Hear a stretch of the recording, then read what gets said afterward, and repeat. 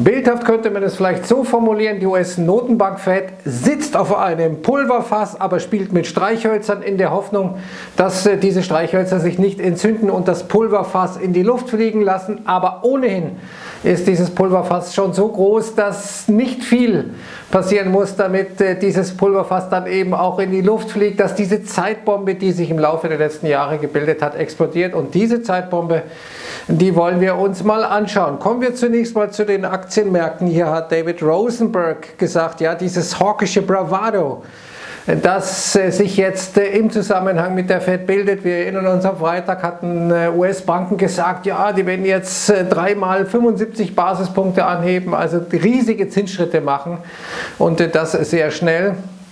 Vielleicht stimmt das auch, vielleicht hat die Fed das ja wirklich vor. Jedenfalls trifft das jetzt auf einen Aktienmarkt, der technisch schon durchaus angeschlagen ist. David Rosenberg zeigt, dass das letzte Mal, dass die Fed einen Tightening Cycle äh, begann, also eine Straffungsperiode der Geldpolitik begann, und der S&P da schon unter der 200-Tage-Linie war. Das war im Jahr 1987. Die Jüngeren unter Ihnen erinnern sich vielleicht noch an den Oktober 1987 und diesen massiven Crash, der da stattgefunden hat. Jetzt äh, sei eine ähnliche technische Ausgangslage vorhanden wie eben 1987. Aber schauen wir uns jetzt mal die Zeitbombe an. Da sehen wir hier die Verschuldung der USA. Die ist äh, seit dem Jahr 2010 um 33 Billionen gewachsen, die Gesamtverschuldung, also Firmen plus Haushalte plus Staat. Wir sind jetzt äh, bei 88 ähm, Billionen Dollar und wenn wir uns jetzt mal vorstellen, was da eine schnelle und heftige Zinsanhebung bedeutet, äh, dann würden da massive Kosten auf Verbraucher, auf Firmen, auf den US-Staat zukommen. Also das wird nicht ganz ohne Schmerzen abgehen, zumal wir auf der anderen Seite, wie Sie unten hier sehen, total aufgeblähte Aktienmärkte nach wie vor haben, total aufgeblähte Anleihemärkte haben, hier Bond and äh, Growth Stock Bubble. Wie wir hier sehen, das ist äh, so weit über dem äh, normalen historischen Mittel. Dieser Trend zeigt ja nach oben, aber das ist so weit drüber, dass da so extrem viel Luft entweichen müsste, dass wir zumindest ins Trendwachstum wieder reinkämen. Also da ist viel, viel kaputt zu machen und äh, zu zerstören. Und hier sehen wir mal den S&P 500 in einem Chart und hier sehen wir eine potenzielle Schulterkopf-Schulterformation, die sich nach unten auflösen könnte und möglicherweise auch dürfte. Hier sehen wir mal ein Szenario, das ein amerikanischer Kollege gemalt hat. Er hat ja durchaus gesehen, dass der S&P bis 4200 fällt. Das war bisher das äh, heutige Tief, das wir gesehen haben. Dann sich nochmal erholt, so in Richtung 4300, 4400 und dann kommt der nächste Move nach unten. So könnte es diesmal auch sein. Denn wir sind natürlich im kurzfristigen Zeitfenster überverkauft. Wir sehen hier mal beim Nasdaq diese dicken roten Kerzen, die sich da ja vor allem seit letzten Donnerstag gebildet haben. Wir sehen aber vor allem New Highs versus New Lows, also wie viele Aktien erreichen 52 Wochen Hochs, wie viele Aktien erreichen 52 Wochen Tiefs und da sehen wir schon, da ist äh, so viel passiert wie äh, seit langer Zeit nicht mehr oder da ist durchaus eben eine Schwäche des Gesamtmarktes zu konstatieren. Viele Aktien, die durchaus hm, hier richtige Probleme haben. Was ist jetzt die Gesamtsituation? Die schaut so aus. Die Stimmung ist wirklich bärisch. In allen Bereichen sehen wir da negative Stimmungsindikatoren. Normal eine gute Voraussetzung, zumindest für eine Konter-Rally, für eine technische Gegenreaktion, die ist durchaus diesmal gegeben. Das Problem ist, dass die Positionierung vergleichsweise immer noch relativ und sehr hoch ist. Dementsprechend gibt es noch sehr viele Gelder abzuziehen aus dem Aktienmarkt, zumal in den letzten Jahren, vor allem im letzten Jahr, so massiv Geld in diese Aktienmärkte geflossen ist. Hier unten sehen wir das mal in der Grafik. Da ist in einem Jahr mehr in die Aktienmärkte geflossen als in 20 Jahren zuvor insgesamt. Hier sehen wir mal den Vergleich zwischen diesen Zuflüssen in die Global Equities, also in die globalen Aktienmärkte und sehen hier etwa den äh, MSCI ACWI, das ist praktisch ein Weltindex, der den globalen Aktienmarkt abbildet. Der ist ein bisschen jetzt nach unten gegangen schon in letzter Zeit, aber ist eigentlich relativ synchron gestiegen mit den Zuflüssen eben in die Aktienmärkte. Liquidität ist in diesem Bereich alles. Aber jetzt sehen wir seit zwei Wochen ziemlich herbe Abflüsse aus eben diesem Aktienmarkt. Wir sehen zunächst mal, dass der Nasdaq ja so um und bei 10% gut gefallen ist. In diesem Jahr eigentlich saisonal so freundlichen Monat April. Normalerweise kommt dann durchaus mal eben immer wieder eine Gegenbewegung, wie es äh, Lance Roberts sagt. Also wenn wir hier so Verluste Strecken haben, dann kommt meistens auch mal eine nette Gewinnstrecke. Aber wir sehen, dass eben, wenn wir die untere Grafik mal anschauen, jetzt seit zwei Wochen doch ziemlich heftig Gelder abgezogen wurden. Und zwar so stark Gelder aus äh, den äh, Aktienmärkten abgezogen wurden, wie seit dem Corona-Crash nicht mehr. Also da ist jetzt ein leichtes Umdenken passiert, auch wenn wir uns oben den sogenannten Margin Debt anschauen. Also die Hebelung, die die Amerikaner haben, äh, hat ein Aktiendepot und sagt sich dann äh, oder sagt dem Broker, pass auf, ich habe doch hier ein, ein, Depot von 60.000, 70.000 Dollar, da kannst du mir noch einen Kredit drauf geben, dann kaufe ich nochmal Aktien. Das ist sozusagen der Margin Debt, diese Hebelung, die die Leute dann faktisch haben. Und wir sehen das erste Mal jetzt seit langer Zeit im Vergleich zum Vorjahr, ist der Margin Debt leicht rückläufig jetzt auf Jahressicht. Also da ist schon eine kleine Enthebelung passiert. Und äh, Enthebelung wird eines der großen Stichworte sein, äh, wenn die Fed wirklich ernst macht mit ihrer Politik. Dann haben wir noch eine Derivatebombe, die wir uns gleich noch anschauen. Und wir haben natürlich eine Schuldenhebelung, die wirklich saftig ist. Hier sehen wir mal das, was die Fed eigentlich ja erreichen will, nämlich eine Straffung der sogenannten Financial Conditions. Dazu gehören auch die Aktienmärkte. Oben sehen wir mal eine Grafik, wie es mit den Financial Conditions ausschaut ohne Aktienmärkte. Da sehen wir, da sind die Financial Conditions schon deutlich straffer, haben also angezogen, sind rigider geworden, weniger lax geworden. Wenn wir die Aktienmärkte allerdings noch mit dazu nehmen, oben in dem Chart die dunkelblaue Grafik, oder Linie, dann sehen wir, naja, so viel ist da noch nicht passiert. Mit den Aktienmärkten sieht die ganze Geschichte noch deutlich laxer aus, als sie es eigentlich sein könnte. Deswegen sagen Leute wie Bill Dudley, der ehemalige New York Fed-Chef, ja, die Aktienmärkte müssen auch mitspielen. Das heißt, die müssen ihren Teil beitragen und nach unten gehen, damit wir diese Financial Conditions äh, straffen können. Jetzt äh, schauen wir uns mal an, was ein fallender Aktienmarkt in Sachen Financial Conditions äh, bedeutet. Da hat Goldman Sachs eine sehr schöne Grafik, nämlich wenn der S&P 500 9% fällt, fallen sollte, gut, wir sind seit Jahresbeginn um und bei äh, diese 9% gefallen, 10% vielleicht, dann entspricht das etwa einem 0,75 Basispunkte Schritt an Zinsanhebung. Also ein Fall von knapp 10% entspricht einer Zinsanhebung von 0,75% äh, in Sachen Straffung der Geldpolitik. Denn dann sitzt ja das Geld der Leute weniger locker. Wenn ihre Aktienpositionen weniger wert sind, dann werden sie wahrscheinlich weniger konsumieren, werden weniger Nachfrage damit erzeugen, weil sie eben nicht mehr das Geld so locker in der Tasche sitzen haben. Das ist die ganze Logik dahinter. Können wir bald eine Gegenrallye sehen? Jederzeit, wie gesagt, wir sind ziemlich überverkauft. Die Stimmung ist sehr, sehr bärisch. Wir könnten allerdings hier auch nochmal das Februar-März-Tief erreichen. Das wäre beim Nasdaq so um und bei 13.000 und ein paar zerquetschte. Wir haben ja diese Monsterwoche jetzt in Sachen Berichtssaison. Wir haben Google, wir haben Microsoft, wir haben Apple. Israel. Also die Dickfische, die wirklich schweren Jungs werden in dieser Woche berichten. Dazu nächste Woche dann die Fettsitzung. Also da wird einiges gebacken sein. Da ist natürlich jeder Grund für Volatilität. Auch schnelle Zwischenerholungen sind da jederzeit drin, gar keine Frage. Zumal, wenn wir uns anschauen, wie stark schon jetzt die großen Dickfische teilweise geblutet haben, etwa die sogenannten Fangman.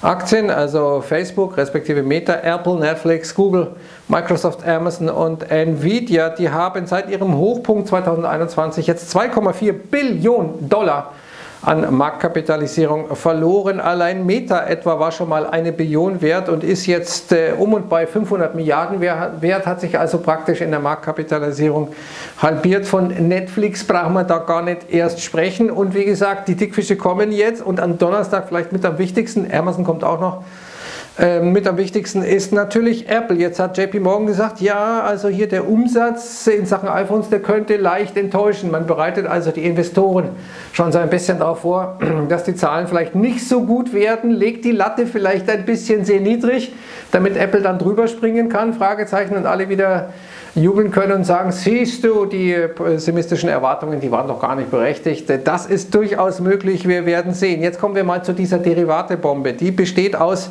234 Billionen Dollar, die vor allem von großen US-Banken äh, gehalten werden, die auch von einer deutschen Bank gehalten werden, die heute wieder mal 5% im Minus ist. Am Freitag ging es auch schon sehr deutlich nach unten. Wir sehen, dass die großen Banken in den USA ziemlich deutlich unter Druck sind in letzter Zeit, denn da ist so viel Gehebeltes, was da rumschwirrt, so viel Derivatives, was da rumschwirrt und da hat man ein gewisses Counterpart-Risk teilweise. Dementsprechend wird es da manchen mulmig und da sagt einer, oder der andere vielleicht, da steige ich mal lieber aus. Wenn diese ganze Geschichte in die Luft fliegt, dann haben wir ein Riesenproblem. Das gilt dann auch etwa und vor allem für den US-Immobilienmarkt. Hier sehen wir mal die durchschnittliche Schuldenaufnahme in den USA pro Hauskauf.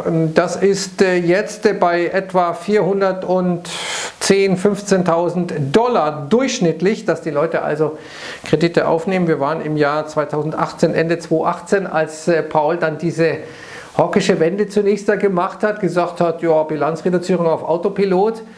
Dann äh, sank das äh, sehr massiv, äh, diese durchschnittliche Kreditaufnahme pro Hauskauf, weil eben die Zinsen stiegen, die Bilanz reduziert wurde. Das musste Paul dann im Januar 2019 rückgängig machen, sonst wäre der Laden ihm damals in die Luft geflogen, S&P 20% verloren. Aber damals war die Inflation kein Problem. Heute ist sie ein Problem. Heute wird er einen solchen Spagat nicht nochmal machen können. Und apropos US-Banken, JP Morgan Chase etwa berechnet ja seinen Kreditkartenkunden durchschnittlich, durchschnittlich einen Zinssatz von 17 Prozent. Das müssen Sie sich mal vorstellen. Also wer in den USA eine Kreditkarte hat und da im Minus ist, der er hatte 17% Sollzinsen, die er da zu berappen hat. Immens. Auf der anderen Seite hat etwa eine JP Morgan damals bei diesen Maßnahmen während des Corona-Crashs, nach dem Corona-Crash staatliche Gelder erhalten. Die waren verzinst mit so 0,25%, 0,5%. Also eine JP Morgan möchte ich auch sein. Da kriege ich sozusagen fast kostenlos Geld und verleihe es dann zu 17% durchschnittlich an meine Kreditkartenkunden. Da ist eine gewisse Marge, die ist natürlich äh, super, aber da hängen jetzt viele eben hochverschuldet, hochgehebelt äh, in einer Verschuldung drin äh, und sind sozusagen schon auf Kante. Und wenn die Fed jetzt wirklich ernst macht mit diesen Zinsanhebungen, dann könnte es ungemütlich werden, so wie bei den Zombie-Firmen. Also jene Firmen, die nicht mal ihre Kreditkosten herausverdienen, deren Aktien sind jetzt etwa 23 Prozent gefallen seit Jahresbeginn, während der S&P oben hier zu sehen in dieser hellblauen Linie deutlich, deutlich weniger gefallen ist. Das war hier noch etwa 8 Prozent. Ja, so ungefähr dürften wir jetzt auch sein beim S&P 500. Also wir sehen, diese Zombie-Firmen werden abgestraft. Da wo die Bilanzen schlecht sind, wo das Risiko hoch ist. Wir sehen am High-Yield-Markt, also bei den hochriskanten Unternehmen allein, ist schon sehr, sehr viel Blut geflossen. Also da sind die vulnerablen Sektoren auf der einen Seite Kredit, schwacher Kredit, Leute, die keine gute Bonität haben, die hochgehebelt sind auf der einen Seite und auf der anderen Seite eben äh, diese ganzen äh, Haussekt, Hauskäufer, die sich massiv verschuldet haben, aufgrund immer weiter steigender Hauspreise eben die Kreditsumme immer stärker anheben mussten. Wir sehen heute etwas Ungewöhnliches. Wir haben ja eigentlich seit Jahresbeginn die Energieaktien als die Top-Performer gehabt. Jetzt sehen wir aber, dass es seit drei Tagen ziemlich heftig nach unten geht. Wir sehen jetzt einen der heftigsten Abverkäufe jetzt in den letzten drei Tagen seit Jahrzehnten, könnte man sagen. Das ist wahrscheinlich der zweitheftigste Abverkauf, den wir jetzt sehen seit dem Corona-Crash bzw. seit der Finanzkrise eigentlich, nachdem die Aktien natürlich aus diesem Sektor aufgrund des gestiegenen Ölpreises und der Inflation hier deutlich gestiegen waren. Energieaktien sind ja da in Sachen Inflation ziemlich immun, könnte man sagen. Aber hier, da zeigt sich schon Massives. Und massiv ist auch das, was jetzt plötzlich diese Kehrtwende betrifft äh, mit Elon Musk und äh, Twitter. Jetzt hat Twitter gesagt, offenkundig unter Druck durch seine äh, Anteilseigner, wir überlegen doch diese Offerte von Elon Musk anzunehmen. Und oben sehen wir mal dieses ähm, Digital World Acquisition, dieses SPAC, das Donald Trump mit an den Markt gebracht hat, ist heute 9,5% gefallen, weil eben Twitter und Elon Musk in dieser Kombination natürlich sehr viel Finanzpower ist. Und das könnte für Donald Trumps Truth-Plattform äh, nicht so richtig gut sein, aber ich bin sicher, Donald hat ja gesagt, ich werde nie wieder zu Twitter zurückkehren. Ich bin sicher, dass er das macht, denn Donald Trump würde durch Elon Musk sicherlich freigeschaltet wieder. Er hat ja über 80 Millionen Follower, glaube ich, auf Twitter. Es waren jetzt äh, zuletzt, obwohl er schon Jahre inaktiv ist, immer noch 32 Millionen. Also da könnte er direkt wieder äh, zum Volke sprechen, direkt wieder seine Messages ähm, kommunizieren. Elon Musk setzt sich ja vermeintlich für Free Speech ein, solange es ihm passt, äh, jedenfalls. Äh, und äh, das könnte noch eine hochbrisante, auch politisch hochbrisante Geschichte werden. Brisant ist auch das, dass die Inflationserwartungen in Deutschland immer weiter steigen, haben jetzt sogar das erste Mal seit 2009, also seit der Finanzkrise, zwischenzeitlich heute die der Amerikaner überholt. Das heißt, dass die Inflationserwartungen in Deutschland höher gegangen sind als in den USA. Das liegt natürlich an unserer grandiosen EZB, einer Frau Lagarde, die gesagt hat, ja, die Energiepreise, was soll man da machen? Wirklich äh, Energiepreise mit den Zinsanhebungen, wir kommen nicht weiter, pas de chance. Da gibt es keine Okkasion, das kann nicht funktionieren, aber das ist leider nicht der Fall, wie hier zum Beispiel Clemens Füß, der Chef des IFO, sagt. Also sehe ich anders, die EZB beeinflusst den Wechselkurs und daher die gesamten Importpreise. Und äh, eben betrifft die Inflation ja eben bei weitem nicht nur die Energie, sondern vor allem auch Lebensmittelpreise und viele andere Güter. Also das ist wieder so eine Ausflucht von Madame Inflation, um irgendwie die Zinsen nicht anheben zu müssen. Deswegen denke ich, and the ECB, das ist das Hashtag, das äh, Sie vielleicht populär machen könnten, indem Sie es weiter verbreiten. Wie auch äh, meine Artikel oder meine Videos zum Beispiel, wenn Sie möchten, ja, dass die EZB also letztendlich ähm, abzuschaffen ist und äh, durch ein anderes Gremium, durch eine andere Institution oder durch freie Märkte, die den Zinssatz bestimmen, zu ersetzen sei. Und äh, in Sachen freie Märkte ist China ja nicht ganz vorne, aber hier sieht es so aus, dass jetzt auch Peking, und das war der Grund für die Schwäche heute Vormittag, vor allem beim DAX, Peking in den Lockdown gehen wird. Äh, wir haben den äh, Li, den Premierminister aus China, der gesagt hat, jetzt das vierte Mal, glaube ich, das vierte Mal, äh, dass die chinesische Wirtschaft starken Gegenwind habe. Dann hat Chinas Notenbank die ähm, Reserve Ratio gesenkt, also das, was die Banken an Eigenkapital hinterlegen müssen, wenn sie Kredite vergeben. Also da hat man schon ein bisschen Panik, zumal der Yuan ja sehr stark abgewertet hat bisher. Und äh, wenn Sie eines über China wissen sollten, meine Damen und Herren, da steht ja die Frage im Raum, machen die Chinesen jetzt ihre Lockdowns, um uns zu schaden, um uns letztendlich den Saft abzudrehen, in dem da nichts mehr geliefert wird. Das ist eine populäre These, die allerdings nicht stimmt. Und wenn Sie diesen Artikel lesen eines absoluten Insiders, der in Shanghai lebt, der die Parteigrößen kennt teilweise, der weiß, was da gespielt wird, welche Logiken da am Start sind, der erklärt in diesem Artikel, warum es geht. Sie brauchen danach keinen Artikel mehr über Lockdown zu lesen in China und wieso, weshalb, warum. Sie werden die Antwort in diesem Artikel finden. Deswegen ein absolutes Must-Read werde ich Ihnen unter dem Video verlinken und wünsche jetzt einen wunderbaren Feierabend und sage Servus und Ciao.